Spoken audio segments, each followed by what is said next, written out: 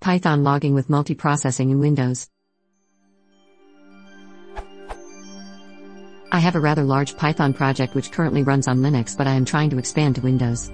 I've reduced the code to a full example which can be run to illustrate my problems. I have two classes, parent and child. Parent is initialized first, creates a logger, and spawns a child to do work.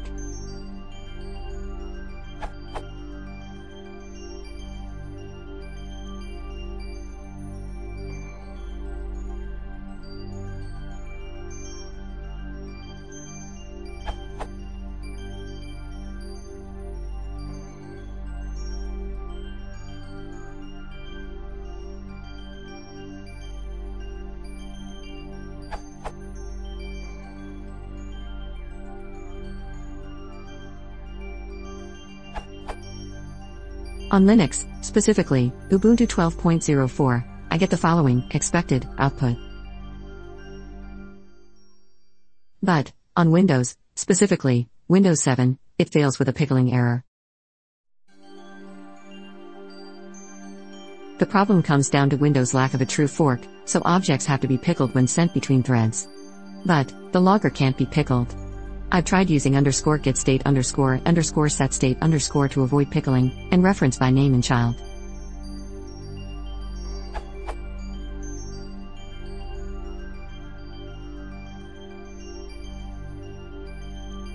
This works in Linux just as before, and now Windows won't fail with the pickling error.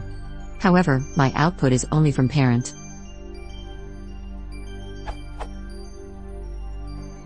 It seems that the child is unable to use the logger, despite no message complaining no logger could be found for handler underscore main underscore or any other error message. I've looked around and there are means by which I could completely restructure how I log in my program, but that's obviously a last resort.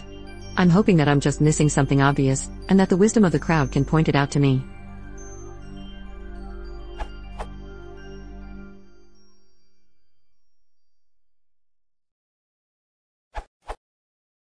In most cases, logger objects are not pickable, because they use unpickable threading.Lock and or file objects internally.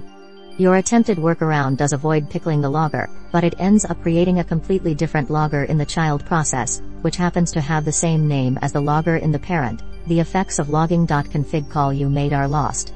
To get the behavior you want you'll need to need to recreate the logger in the child process and recall logging.config.dictConfig.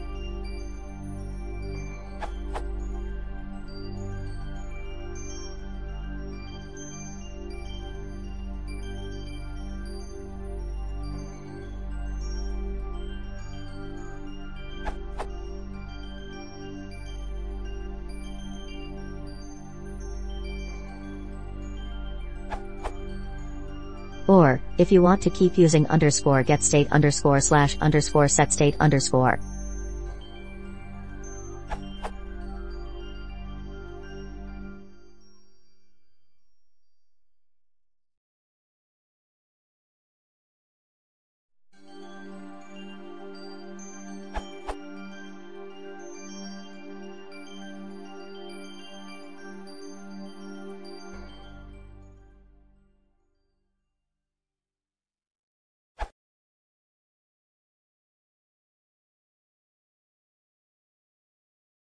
If you want to support the channel, please consider subscribing.